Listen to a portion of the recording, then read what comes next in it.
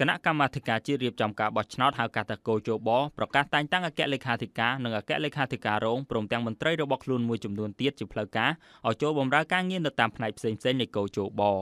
ពិធីប្រកាសតែងតាំងអគ្គលេខាធិការអគ្គលេខាធិការរងនិងមន្ត្រីផ្សេងទៀតរបស់កោជបនេះធ្វើឡើងនៅព្រឹកថ្ងៃអង្គារនេះនៅមជ្ឈមណ្ឌលកុំព្យូទ័រនៃកោជប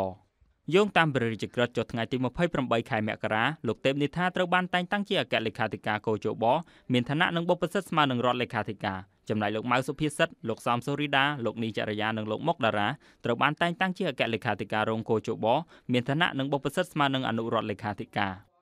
ក្នុងពិធីនៅព្រឹកនេះកោជបក៏ប្រកាសតែងតាំងជំនួយការសមាជិកកោជបទាំង9នាក់ប្រធានអនុប្រធាននាយកដ្ឋានប្រធានអនុប្រធានលេខាធិការដ្ឋាននៃអគ្គលេខាធិការដ្ឋានកោជប ប្រធាននិងអនុប្រធានការិយាល័យនិងប្រធានអនុប្រធានលេខាធិការដ្ឋានរាជធានីខេត្តរៀបចំការបោះឆ្នោតឲ្យចូលកាន់តំណែងនិងផ្ទេរបញ្ចូលក្របខ័ណ្ឌជាមន្ត្រីរាជការនៃកោជបផងដែរ